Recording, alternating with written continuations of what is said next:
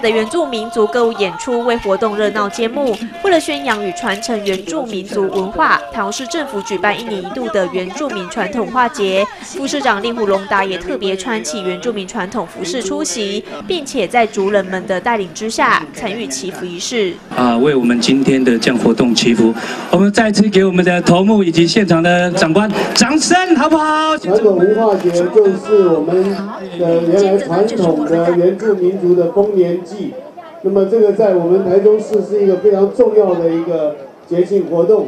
那么我们有十六个原住民族，那么我们有二十四个原住民的社团，那么大家一起啊来参加这个活动，那么也是透过这个丰年祭啊来祈福。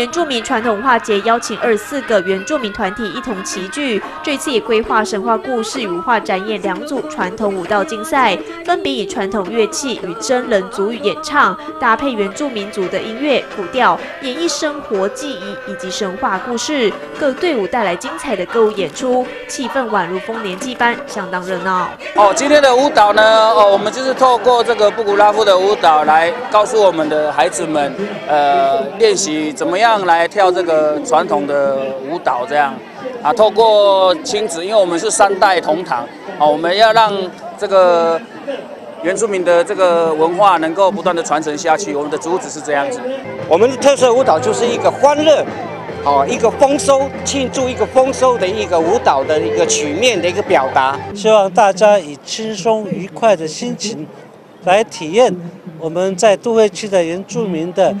生活文化以及传统美食等。现场除了规划原民市集，还特别准备了烤全猪大餐，免费分送给民众来品尝。是否也期盼透过活动的举办，不仅促进各族部落的文化交流、凝聚向心力之外，也能够让台中市民更了解原住民族的文化传统。建省不汉台中采访报道。